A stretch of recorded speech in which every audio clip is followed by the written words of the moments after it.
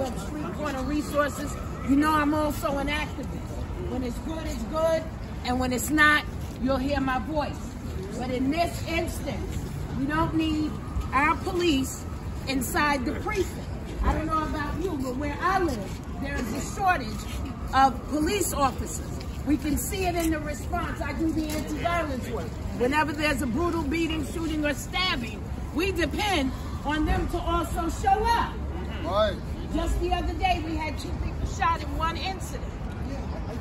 And I was grateful to see those officers that I know that we're often on the street. We don't work with the police in that way, but we need the support of the police in our community. My tax dollars, which is a lot of dollars to me, help to pay the salary of these officers. So I don't want to see those that I pay for to help protect the community inside the precinct.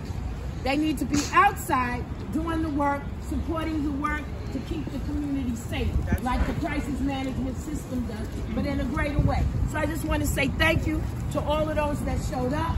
We do appreciate, I know I appreciate those in my precinct that are following policy and trying to make the community better. So I want to say thank you.